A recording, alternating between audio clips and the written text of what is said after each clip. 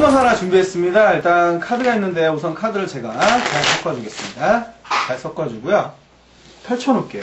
아 그리고요 제가 이런 카드 하나 준비를 했는데요. 예, 잘 보시면은요 예, 카드 한 장이 들어 있습니다. 보시면 카드 한 장이 들어 있죠? 무슨 카드죠?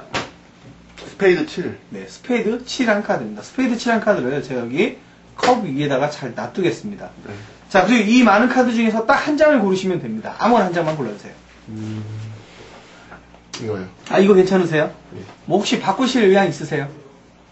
아, 바꿔도 돼요? 바꿔도 됩니다. 어떤 거 바꾸시겠어요? 아, 이거요? 이거 괜찮으세요? 네. 어, 바꾸시겠어요, 혹시 또? 네.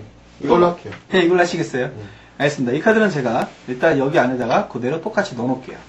자, 그리고 나머지 카드는 제가 잘 놔주겠습니다. 어, 보시면은 여기에 제가 이제 예언한 카드가 있었습니다. 스페이드 7이었죠. 예. 네. 그리고 여기 있는 카드도 한번 제가 비벼주게 됩니다. 놀라운 일이 벌어집니다. 잘 보시면요. 스페이드 7이고요. 여기 있는 카드도 스페이드 7입니다. 어? 보시면은 스페이드 7이죠. 네. 정말 스페이드 7이죠. 네. 근데 더 놀라운 것은 뭐냐면요. 저는 바꿀 기회를 드렸는데 바꾸셨어요. 자, 만약에 안 바꾸셨다면은 여기에 있는 카드는 전부 다 백지였는데요. 오. 만약에 안 바꿨더라면 저는 백지 카드를 뽑게 만들었었겠죠. 오. 정확하게 뽑은 마우스입니다.